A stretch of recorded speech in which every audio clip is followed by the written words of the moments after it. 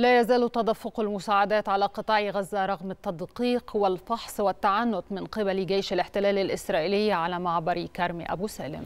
المزيد من التفاصيل حول تلك الجهود والعراقيل التي تمارسها قوات الاحتلال الإسرائيلي يطلعنا عليها الزميل باسم أبو العينين مراسل التلفزيون المصري. نتابع.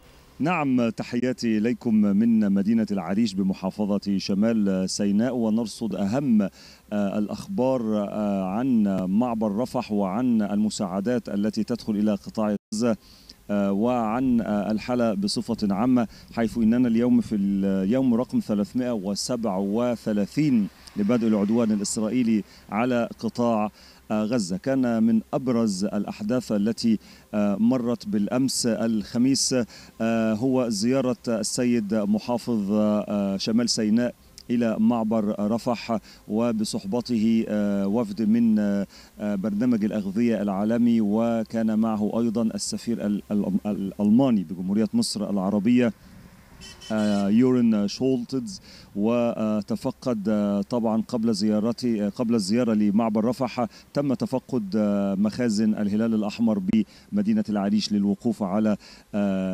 توافر الأدوية واللقاحات التي تتوجه إلى قطاع غزة وطرق تخزينها.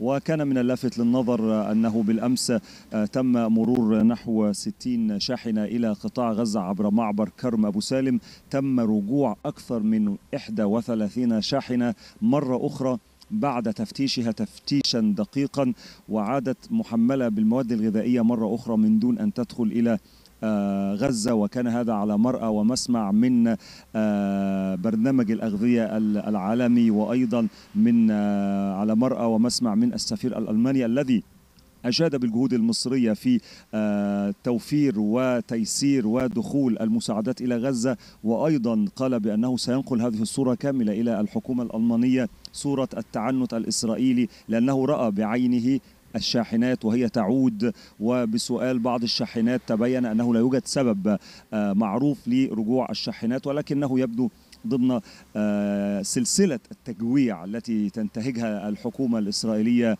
تجاه الشعب الفلسطيني في قطاع غزة. أخيرا لدينا المرحلة الثانية من تطعيم شلل الأطفال والتي بدأت من الخامس من سبتمبر الجاري وتستمر حتى يوم الثامن من سبتمبر الجاري وتستهدف 340 ألف طفل فلسطينية دون سن العاشرة. كانت هذه أبرز الملامح لليوم السابق واليوم والغد يعتبر أجازة في معبر كرم أبو سالم وبالتالي لا توجد شاحنات تمر عبر المعبر في هذين اليومين. أعود إليكم من العريش التلفزيون المصري باسم أبو